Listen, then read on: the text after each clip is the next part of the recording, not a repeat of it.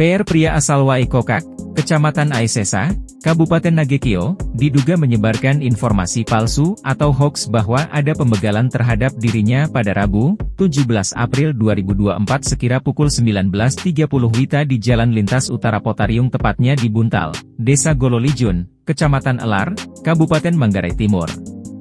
Keterangan korban PR bahwa ada pemegalan terhadap dirinya ini juga sudah ramai diberitakan di sejumlah media dan memberikan ketakutan bagi warga pengguna jalan lintas Pantura Potariung akibat keterangan yang diduga bohong yang dibangun PR.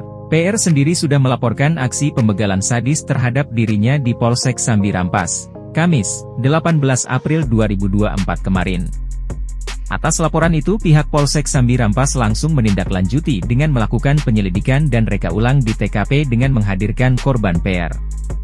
Atas reka ulang tersebut, pihak kepolisian menemukan ada kejanggalan dan menduga keterangan yang dibuat oleh korban PR diduga palsu alias bohong alias menyebarkan hoax.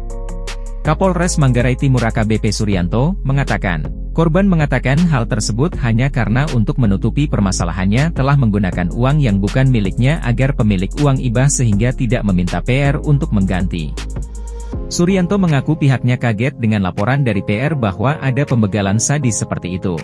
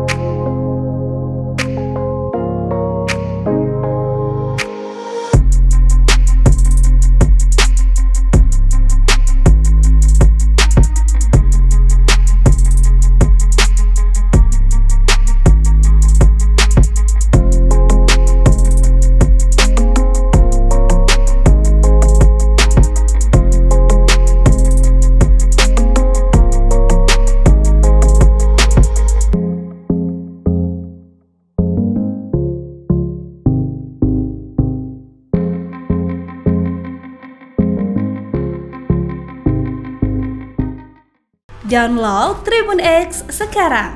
Menghadirkan lokal menjadi Indonesia.